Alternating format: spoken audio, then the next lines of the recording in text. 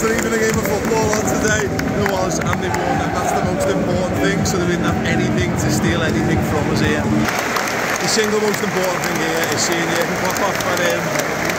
He's about to come out. We just finished the game. We sang the Jurgen song for like the final 10 minutes of the game, including stoppage time. And it got louder and louder and louder.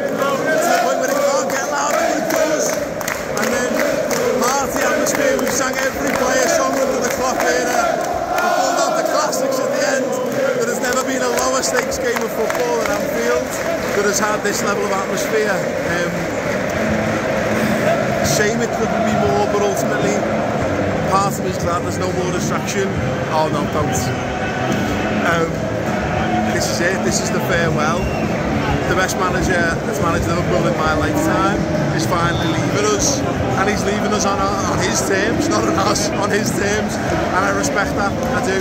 He's going to go and be a grandparent. He's going to live his life away from the spotlight of football, away from cooker of football. But he's never going to leave Liverpool in his heart, and he's never going to leave our hearts either. Just sensational manager, sensational man.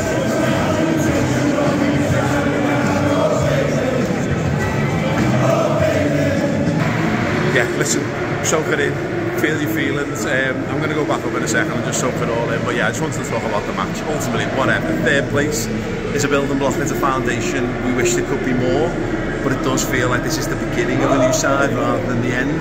So many times when a manager leaves, you do just think, ah, and there is a degree of that, but in terms of raw materials that's being handed over here, I mean, players like Harvey Elliott and Jarell Quansah, Conor Bradley coming back on, Bajcetic hasn't even had a kick this season. These are potential superstars, and they are just at the beginning of their careers, let alone the likes of Virgil van Dijk and Salah and Alisson Becker still, you know, the guys who've been there and done it and done it all at the highest possible level. Trent in his prime. yeah. Um, Look, it's crap. It's crap. No one wants him to go. No one wants him to go, um, but he's going to go. Um, I'm glad he gets the send off that he deserves. I'm glad it didn't end acrimoniously. I'm glad that someone who gave us all this happiness and success and joy doesn't have it all crumble down around him. And it could have done.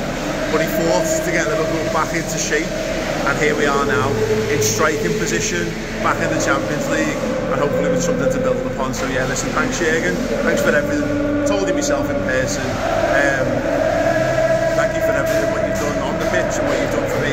my team off the pitch. The best, the best of times. Um, these times were great but these times are no